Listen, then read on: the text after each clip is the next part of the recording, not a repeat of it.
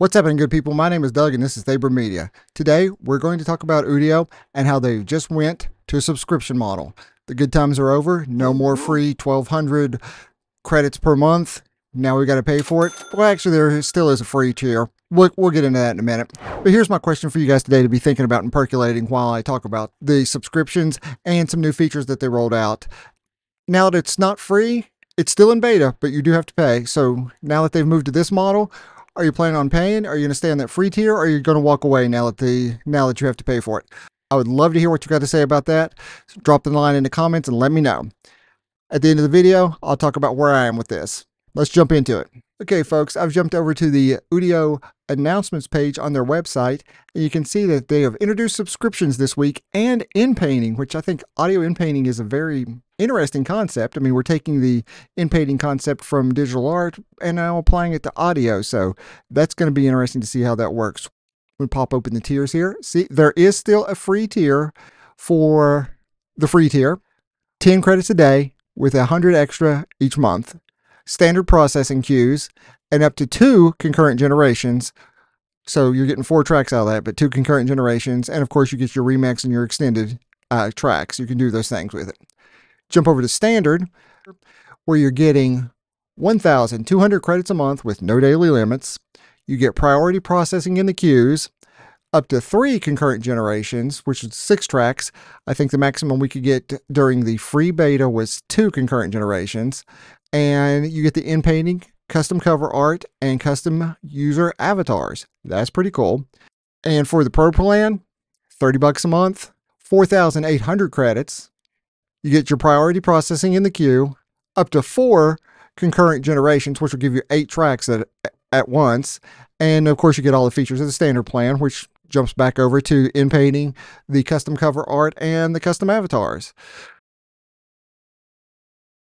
I've got some comments on the initial video I put up for the Udio subscriptions and inpainting review that I did. Some folks were able to help me out and point out exactly what was going wrong with that. Took a few of you, and I appreciate that because it takes a village around here. Human error, absolutely. Transparency is important to me, so I want y'all to know I unlisted the initial video. It's still floating around out there. If you have the link to it, you can still get to it. I'm re uploading this with the new edit but just want to let you guys know that. Thanks. You guys are awesome. I have song lyrics here. We're going to use these top two lines in the verse. These are what we want to change. If I try and change them at the same time, it's going to be a problem. Found that out in the last video, but I want to do more than just do line by or word by word. We don't need to do that either though. We can do a, about a line or so each time. It takes a little bit of tweaking though. Once you get into your edit, you want to go to InPaint you're going to see something that looks like this. What you want to do is take this top line here. These two lines are very, very important. I realize this. There's a couple things here that are very important. I was focusing solely on this bit of region lyric notes down here and thought that's all I needed to do, which is not correct. You got to get everything lined up correctly and not try and do too much at once. So here's what we're going to do. I know the lyrics I'm looking for this keeps pulling out the tide, that melancholy moon, which should read that melancholy moon keeps pulling out the tide. That's the way it should read. It was written incorrectly. Now, in this, it keeps going through it wrong. We're going to fix it in Udio. You're going to move your lower slider and your upper slider to the same area. I know my song lyrics are right around 32. That's where I'm going to take this to 31. I'll put it at 31. And I'm going to get this aligned underneath it. So now we have the shaded region which is going to be where the work is. And we have this second region here. You can do up to four of these at a time. I'm going to stay simple with this particular edit just to show you what you can do and how it does actually work and work properly. Just don't get too carried away with it and try and replace an entire verse or multiple lines at a time. Got this selected. Now I can go down here and follow these instructions. When inpainting, use asterisk, asterisk, asterisk to enclose the lyrics you want to inpaint, plus one to two extra lines on both sides. You can highlight text and press tab to quickly select an area. It says I'm going to highlight them all because I can't really go above, even though it says one or two lines on both sides. I can't go above it because this is the first line.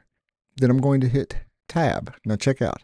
You see here down here in the red, you are missing the asterisk, asterisk, asterisk selectors from your text, which are required for inpainting. Try highlight one or two lines in the area around you want to change and press tab. I've done that.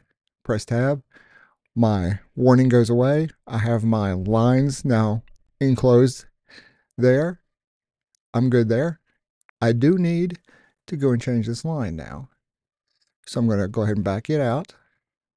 Control V, put in that line. Now, I've got everything lined up here. It's enclosed in the asterisks. I've got both of these region markers here in the appropriate areas.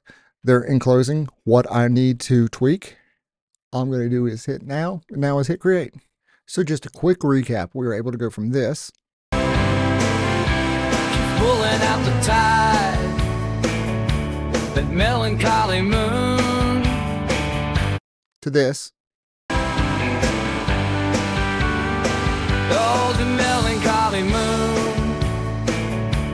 That melancholy moon. And then finally, we got both of the lyrics transposed the way they're supposed to be. And we get this. Oh, the melancholy moon. Keeps pulling out the tide. The things that I try to hide. What's right for you? Is any of it right for you? For me, personally, I really like what Udio's doing. I'm enjoying creating with this AI generative music. It's very interesting to see where things go.